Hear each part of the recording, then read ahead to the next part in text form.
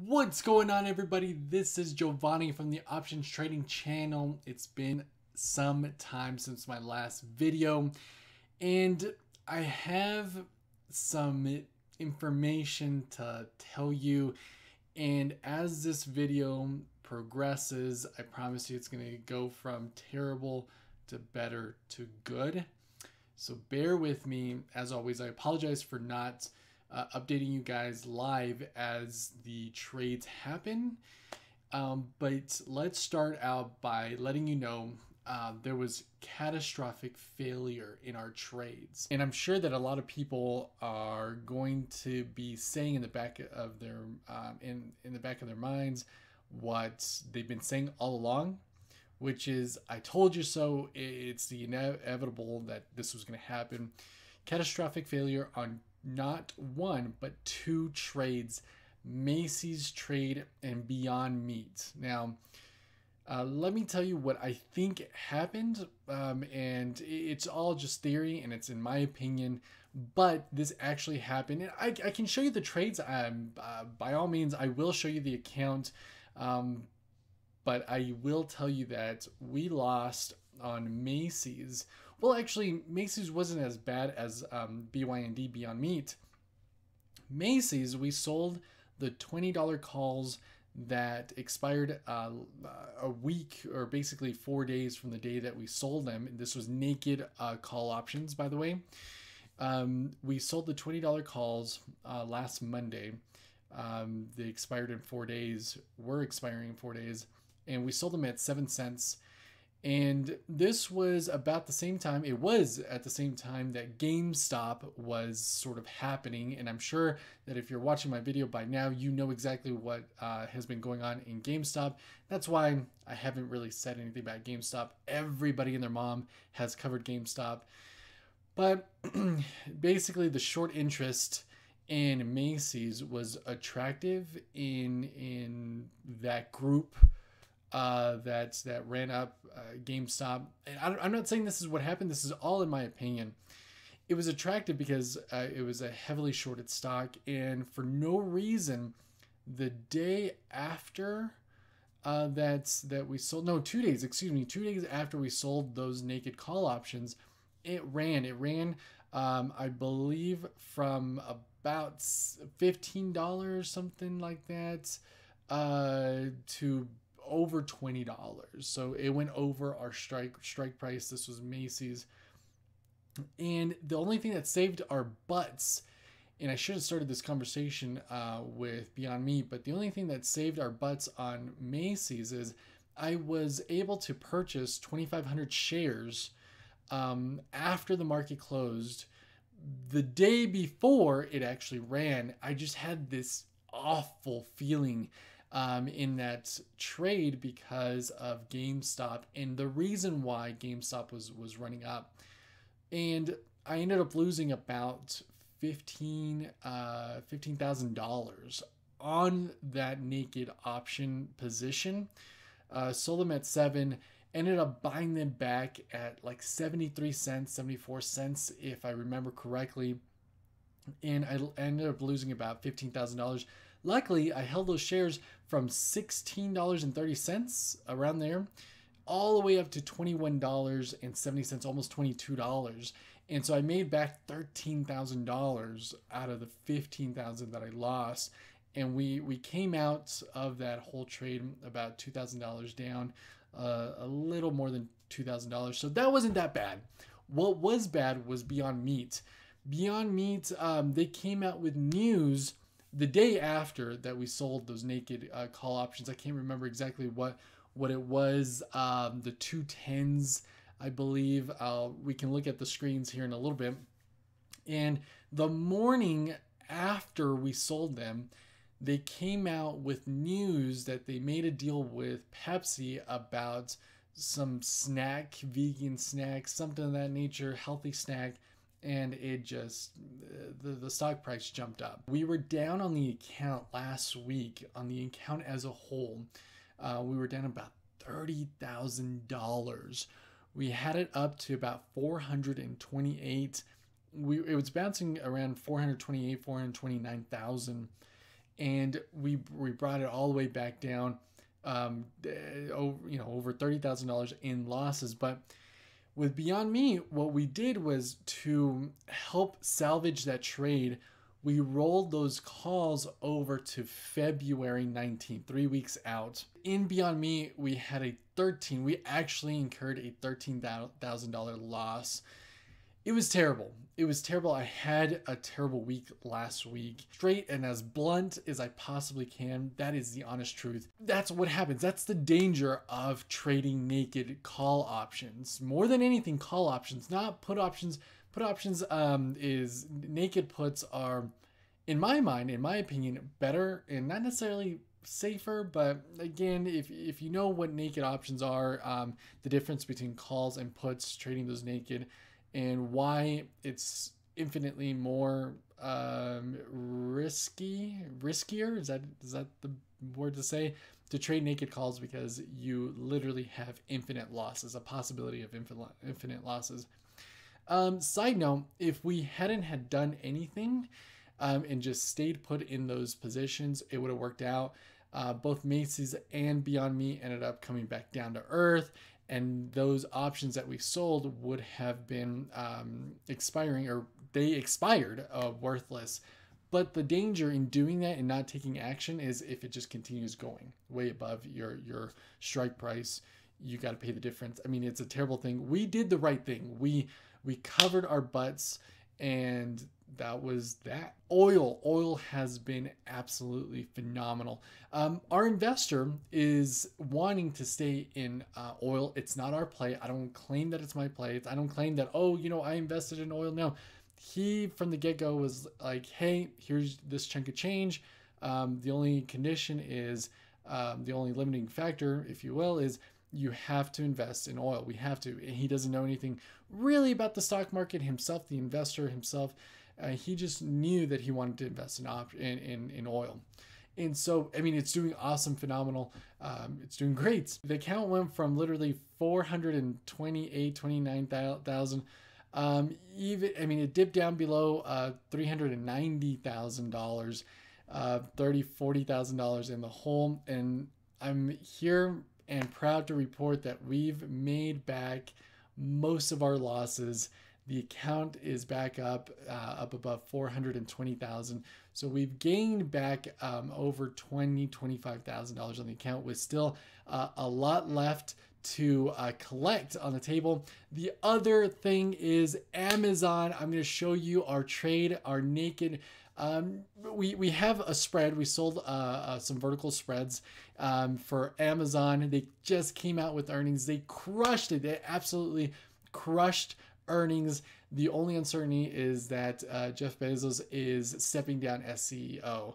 And I don't know what that's uh, going to do to the um, price of Amazon tomorrow morning, but it looks like we're in the clear. Let me show you all of those trades um, let's go to the uh, computer screen and I'll talk to you about those trades, even the Macy's trade, Beyond Meats trade, and Amazon trade that we have currently on. One last thing is this has been an awesome experience. Uh, without a doubt, I've had so much fun. It is very stressful and nerve wracking to say the absolute least, but I'm having a blast doing this.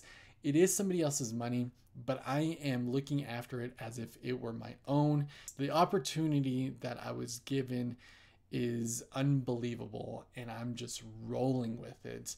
And we're doing really good, for the exception of last week. Last week was our worst week ever, absolutely ever. We had two uh, stocks go completely against us and we were never expecting that. We were expecting maybe, you know, maybe two, three, four a year. We had two in one week. It was a wild week. So let's get to the uh, computer screens and let me show you a little bit about what's in our portfolio, what positions we hold, and then our past terrible trades. Alrighty, and here is the account and I had a um, comment in my last video that the screen was really tiny and so I ballooned it up and I hope you can actually see it a lot better this time around. Okay, Amazon, Amazon, Amazon. Check this out. We sold two verticals, two different verticals. The 3700 calls we sold, and we bought the 3710s that expire um, for this week on this Friday. 20 of them.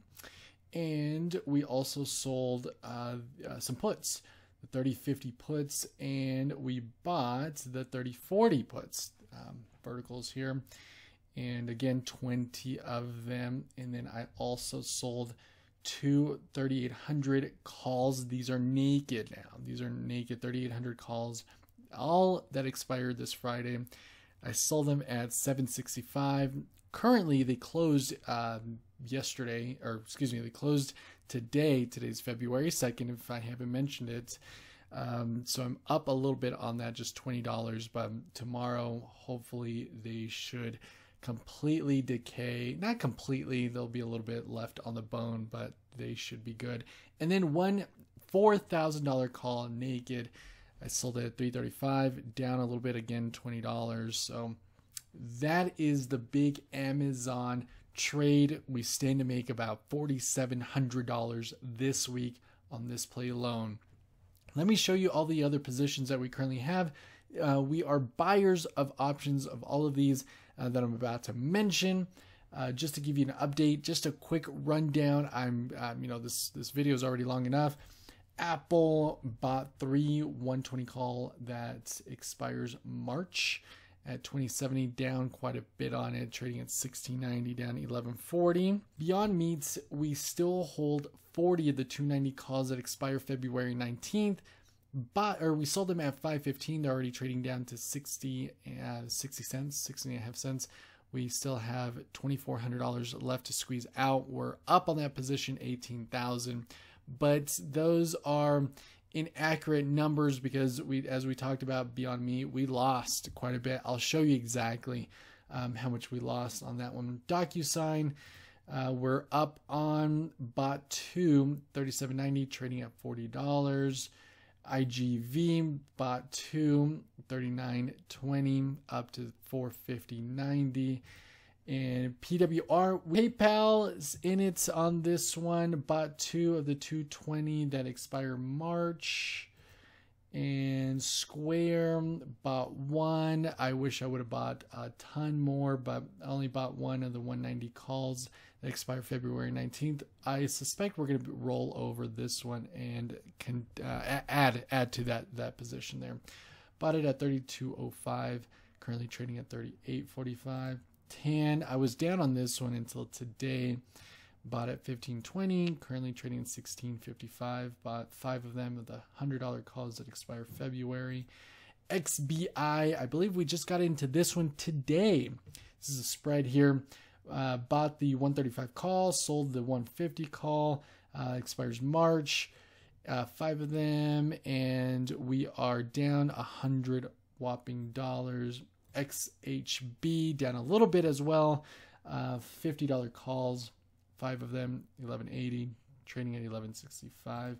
XLK, I believe we also uh, just bought this one not too long ago, I believe and that's a spread that we have going on 114 125 call for march and bought four of them actually i do believe that we bought into these calls today let's move on to the account statement i should note the account is, is at $423,768 um, so we're just five six thousand dollars off the highs of this particular account let's get back to the bad, terrible trades.